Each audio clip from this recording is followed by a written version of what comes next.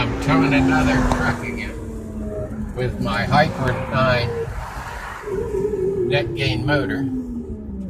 Uh, yeah, it's this is a F F150 we're towing, and it seems to do pretty good. And I got to wonder now if if this truck plus the F150, although I think I'll put it down in the first gear till we can get moving. Uh, if this truck and the F-150 together, then I would say this motor probably could be in an F-150 and not do too bad.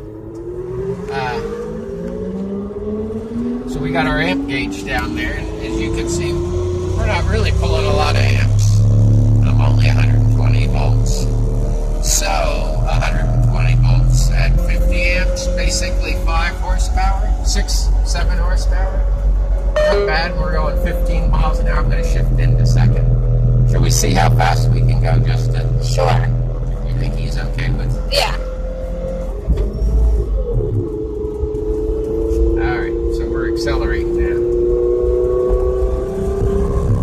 Not, not, hard, but 200 amps. Now this controller is supposed to put out 800 amps. I'll push it a little. Look at that, 30 miles an hour. 30 miles an hour and we're we're leveling off at, at 100 amps. That's not too bad for pulling a towing a vehicle. I gotta wonder how that thing would do. Oh, I guess we're going too fast. He's waving his hands like. One thing the regenerator braking is a little